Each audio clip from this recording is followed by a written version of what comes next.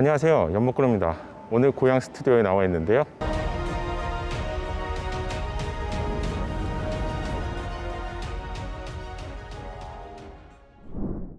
스타리아의 디자인 부분도 살펴보겠습니다. 언제 출시가 된지 도무지 기억이 나지 않을 정도로 오래된 상품성을 가지고 있는 스타렉스에서 이름까지 변경한 스타리아는 모든 것이 변경되었다고 할 만큼 디자인을 포함한 하체, 3세대 플랫폼, 트랜스미션 모든 것이 다 변경되었습니다. 실제 본 스타리아의 디자인은 어 이거 기존에 우리가 알고 있었던 스타렉스가 맞을까? 이렇게 생각이 들 정도로 모든 것이 변경되었습니다. 캄캄한 밤에 보더라도 이 차가 스타리아라는 것을 누구나 알 수 있을 것 같은 그런 디자인입니다. 지금 보이는 틴티드 브라스 칼라의 경우 실제에서도 얼마나 다를까 생각을 했었는데 실제 차량도 거의 동일한 색상임을 알 수 있습니다 네모네모한 디자인의 사각형 디자인이죠. 8개로 구성된 램프는 지금 보시는 위에 점등이 된 상태에서 가장 위에 두 개만 안 들어가 있죠. 이 부분이 방향지시등과 비상등 역할을 합니다. 한번 작동시켜 볼까요? 8개 램프 중에서 제일 위에 있는 두 개는 방향지시등입니다. 이렇게 방향지시등으로도 작동이 되고 비상등 역할까지 함께 겸하게 되는 것이죠. 이렇게 작동이 되었을 때 side repeater 사이드 미러 쪽을 보시게 되면 아 굉장히 특이해요. 그렇죠 이쪽 부분은 우리가 기존에 늘 봐왔던 스타일의 디자인. 그리고 여기에 추가된 디자인입니다. 이 부분에 왜 방향지시등이 들어가게 되는지 램프가 들어가게 되는지는 현대차에게 한번 물어보고 싶어요. 이런 부분은 제조사 입장에서는 원가를 높이는 부분이기 때문에 어떤 좋은 역할을 하지 않을까 예상해 봅니다. 사이드 미러 안쪽에는 정말 커다란 미러가 제공되기 때문에 이 자체만으로도 사각지대를 줄이는 역할을 제공할 것 같습니다 스타리아의 측면부 디자인을 보겠습니다. 보통 차량의 성격을 나타내는 디자인 요소 중에 측면부의 캐릭터 라인 또는 벨트 라인 이런 부분들이 이 차량의 성격을 나타내죠. 그런데 스타리아는 어떠한 선도 찾아볼 수 없습니다. 유려한 곡선으로만 되어 있는 것을 볼 수가 있는데요. 이런 이유 때문에 좀 미래지향적인 느낌이라고도 할 수 있겠죠. 지금 타이어의 사이즈는 235, 55R 18인치가 제공됩니다. 이전 스타렉스에서는 215도 제공이 되어서 조금 불안한 느낌이 있었죠. 측면부 부분에서 2열 윈도우의 디자인이 굉장히 궁금하셨던 분들이 있을 것 같은데 지금 보시는 flush window죠? 좀 이질감이 있지 않을까 생각했는데 디자인은 예상보다 굉장히 깔끔합니다. 후면 쪽으로 이동하고 있는데요. 후면 쪽에는 정말 기다란 테일램프가 제공되어 있습니다 압도적인 느낌이라고 할까요? 이렇게 수직형 테일램프의 디자인을 에스컬레이더 같은 차량에서 볼 수 있었죠. 실제 점등이 될 것처럼 보이지만 위에 이 가니쉬 부분은 점등이 되지 않는 디자인입니다. 브레이크 등이 들어갔고요. 그리고 비상등이 작동되는 경우에는 이렇게 깜빡이는 형태가 될 것 같고요. 지금은 방향지시등이 작동되고 있습니다. 하나 둘셋넷 다섯 개. 다섯 개의 작은 픽셀 디자인이 이렇게 움직이는데요 너무 작은 사이즈라서 이 부분이 오히려 귀엽게 느껴집니다. 스타리아 차량을 보면서 이게 정말 기존의 스타렉스가 맞아? 이 차는 완전히 새로운 스타리아라고 보시는 게 더 맞을 것 같고요. 지금 보시면 이 틈이 보이시나요? 이렇게 윈도우가 개방됩니다. 손가락으로 치면 한 요 정도가 될 것 같아요. 요 정도. 요 정도가 개방이 되지만 이 정도의 개방감도 뭐 중요하다고 할 수 있고 실제로 미세먼지나 대기 오염 이런 문제로 인해서 최근에는 어떤 창문의 역할 자체가 많이 여는 것보다는 닫는 경우가 굉장히 많죠. 와이퍼의 디자인입니다. 이건 hidden 와이퍼라고 보기 좀 힘들 것 같아요. 이렇게 와이퍼가 제공되는 것을 알 수가 있고요. rear의 윈도우 사이즈가 워낙 크기 때문에 저 부분을 다 깨끗하게 닦아준다. 이건 아닐 것 같아요. 후면부에도 스타리아의 레터링을 찾아볼 수가 있는데요. 굉장히 이런 부분도 이제 현대차가 신경을 잘 쓰고 있는 것을 알 수가 있고요 엠블럼의 디자인은 뭐 동일하죠. 하지만 색상과 크기가 더욱 커졌는데 어색하진 않습니다. 손잡이의 경우 바로 밑에 제공되고요. 이쪽 부분입니다. 누르게 되면. 야, 진짜 어마무시하네요. 이게 트렁크 게이트라기보다는 정말로 독수리나 맹금류 같은 커다란 날개를 가진 조류들이 날개를 펼치는 것 같은 그런 느낌입니다 트렁크 개폐 속도는 조금 느린 편이죠. 하지만 사이즈를 본다면 당연히 이 속도가 맞을 것 같고요. 개폐되는 부분을 측면부에서도 한번 보겠습니다. 측면부에서 개폐되는 모습입니다. 이야 이 정도라면 후진을 하실 때 특히 뒤로 주차를 하실 때 약간의 거리를 두시는 게 좋을 것 같고요. 차박이나 아니 캠핑 갔을 때 비도 피할 수 있을 것 같아요. 굉장히 높은 곳에 알 수가 있고요 거의 뭐 높이에 있어서는 한 2m 가까이 되겠죠. 이 차가 1998cm죠 정보가? 그 정도가 되기 때문에 실제로 거의 2m에 가까운 트렁크 리프트가 개폐되는 것을 확인할 수 있습니다. 지금 이 차량은 라운지 9인승 차량입니다. 앞에 2열 중간에 회전 시트 4개 그리고 뒤에 하나 둘, 세 개. 이렇게 해서 총 9개의 시트를 제공합니다. 마지막 열 같은 경우 조절할 수가 있는데요 이 부분의 손잡이 부분이죠. 잡아서 밀면 됩니다. 제가 미리 한번 지금 혼자 촬영을 하기 때문에 미리 한번 조작을 해봤더니 그냥 뭐 여성분들이 쉽게 조작할 수 있다. 그 정도 무게는 아니고요. 남성분들이 좀 힘을 줘서 밀어줘야 되는 그 정도의 힘으로 작동이 됩니다 실내 디자인도 한번 체크해 보시죠. 가장 중요한 운전석부터 체크해 보겠습니다. 도어 캐치 부분도 고급스러움을 받게 되는데 하얀 색상보다는 검정 색상에서 좀 더 이 부분이 고급스럽게 보이는 것 같습니다. 도어를 개폐한 상태인데요. 1열 도어의 크기도 정말 어마무시하네요. 이렇게 큰 사이즈의 1열 도어를 국내에서 볼 수가 없죠. 당연히 미니밴인 카니발보다도 훨씬 큰 사이즈를 제공합니다. 측면부에서 보면 와 정말 큽니다 이거 틴팅비 얼마를 줘야 될지 틴팅비에 있어서도 새로운 기준을 제시할 것 같습니다. 도어에 들어가기 전에 도어 트림 쪽도 보시고요. 미러 쪽 접는 부분 접을까요? 이게 어떻게 접히나? 어. 카니발의 경우 자동 세차하는 경우 좀 불편했었거든요. 접어보겠습니다. 밖에서 볼게요. 사이드 미러를 완전히 접은 상태입니다. 이 정도 되고요 약간 이 부분이 바깥쪽으로 휘어 있어요. 그러니까 완전히 이렇게 접히는 게 아니라 한 이 정도 된다고 생각하시면 될 것 같습니다. 도어 트림의 경우 원가를 좀 낮추는 부분인데 좀 딱딱한 부분이 있고요. 좀 상대적으로 살짝 물렁한 소프트한 재질도 발견할 수 있습니다. 질감이 그렇게 좋지는 않아요. 딱딱한 소재이지만 촉감에 있어서는 괜찮다고 말씀드릴 수 있고요. 그리고 이런 부분도 좀 굉장히 잘한 것 같아요 지금 보시면 이쪽에 ambient가 들어오거든요. 이 부분에 이제 각을 주면서 약간 양감이 도드라지게 만들었는데 그런 이유 때문에 상대적으로 어 괜찮은데? 이런 느낌을 받게 됩니다.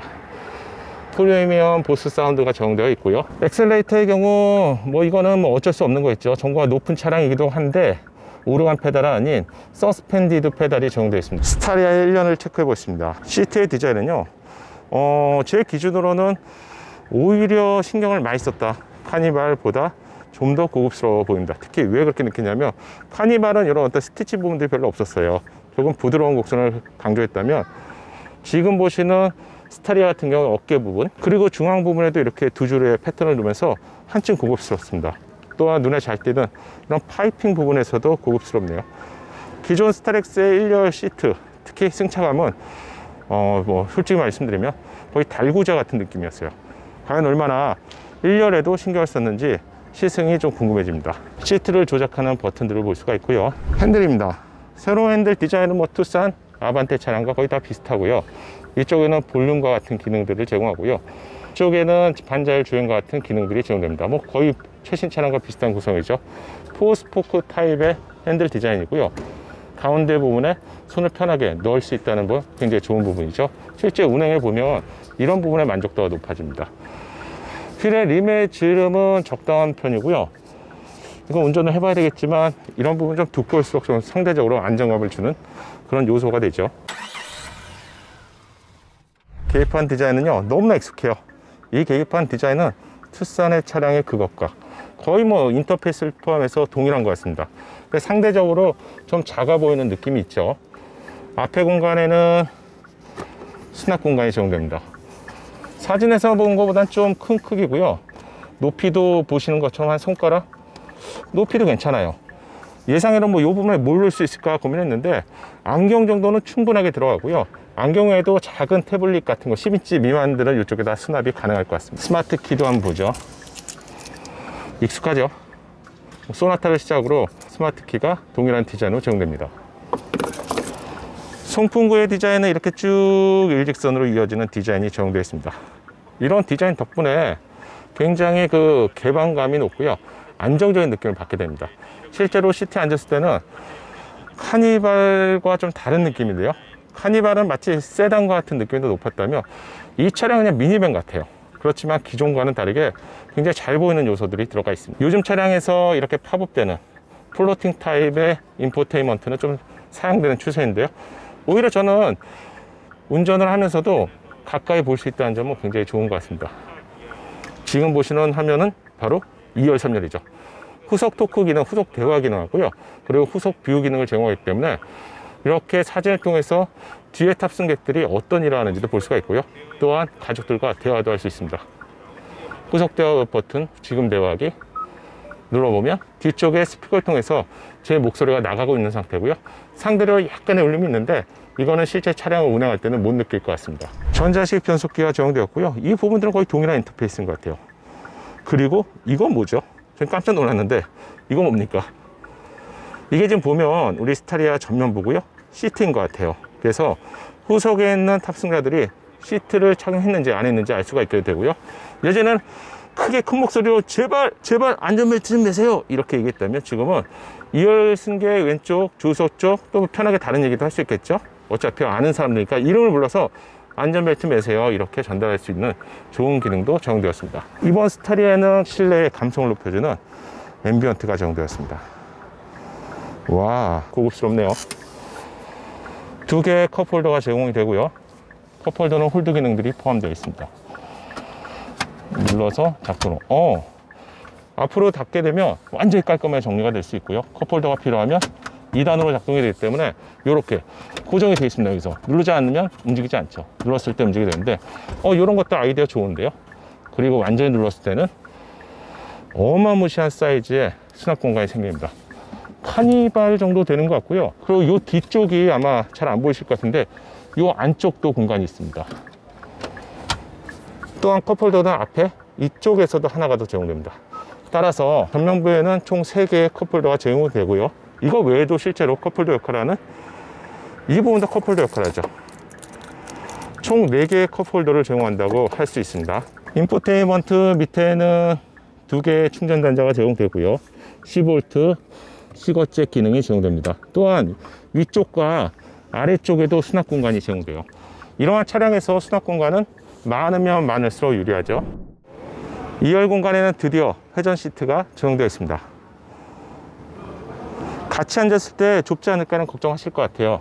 이 부분을 통해서 앞으로 당기고 뒤로 밀 수 있습니다. 아마 이 정도가 지금 최대 사이즈로 보이고요. 지금 제 손가락이 보통 한 21이 좀 넘거든요. 이 사이즈는 최소한 40cm 이상 앞뒤에 레그룸이 제공됩니다. 실내 감성을 높이는 스웨이드도 적용이 되어 있고요. 그리고 바로 회전 시트 위에 이렇게 안락한 느낌의 썬루프가 제공되네요. 날이 화창한 날에 햇살이 떨어지거나 또는 비가 떨어져도 굉장히 운치가 있을 것 같아요. 회전 시트 하단에는 이 부분을 눌러서 의자를 180도 돌릴 수가 있습니다. 1열 조석 하단에도 이렇게 수납 공간들이 제공돼요. 저 이 부분 보고 굉장히 깜짝 놀랐죠? 눌러볼까요 리페어 타이어 킷이나 어느 정도의 공간이 있어서 이 부분에 제 생각에는 이런 것도 좋지만 비상금을 숨기기에 좋은 것 같습니다. 이 블랙 색상은 스타리아 라운지 7인승 차량입니다. 9인승 차량과 실내에서 어떤 느낌이 다른지 한번 체크해 보죠. 와. 이 색상 굉장히 독특한데요? 어, 멋있어요. 이 색상을 잘못 쓰면 굉장히 촌스러울 수 있는데 이 색상도 예상보다 괜찮습니다. 핵심 공간 2열 부분만 좀 알려드리면요. wing 타입의 헤드레스트 굉장히 고급스러운 느낌을 받게 되고요. legroom은 뭐 말이 필요 없을 정도로 정말 넓습니다. 어떤 준대형 세단과 비교해 보더라도 굉장히 넓은데 승차감이 어떨지 이 부분은 제가 직접 시승하면서 체크해 보겠습니다.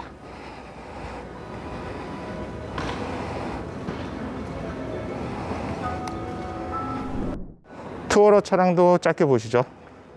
일단 디자인이 다릅니다 주간주행 등도 점등이 되어 있는 상태가 가운데 부분이 안 되어 있는 것을 확인할 수 있는데 이게 차이인지 아니면 작동 방식인지는 모르겠어요. 그릴 디자인이 정말 다른 것을 알 수가 있는데 개인적으로 이 디자인보다는 라운지 디자인이 훨씬 고급스러운 것 같아요. 스타리아 라운지에서는 8개 LED가 제공되었는데 이렇게 reflector 타입이네요. 반사판 타입이 제공되어 있고요. 전면부의 디자인을 포함한 외부 디자인에서는 확실히 라운지 쪽이 고급스럽습니다 이 부분에 차이가 있고요 그리고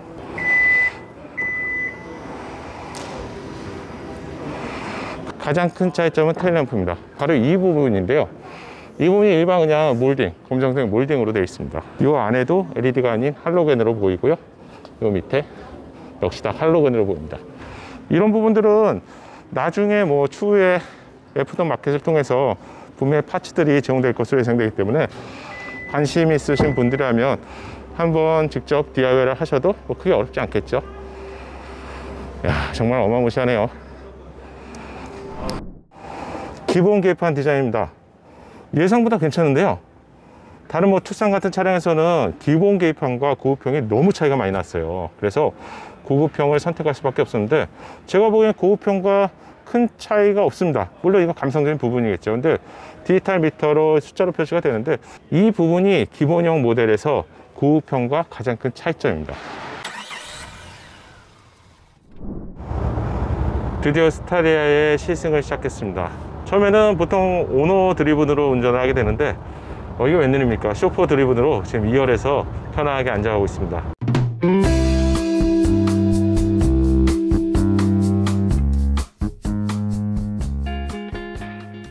연목구름의 신차 정보가 작은 도움이 되셨나요? 신차 정보를 가장 빠르고 정확하게 얻는 방법 아시죠? 새롭게 출시될 신차 소식이 궁금하다면 구독과 알림 설정을 하시고요. 알림 설정을 하셔야 기다리지 않고 자동으로 받아볼 수 있습니다. 감사합니다.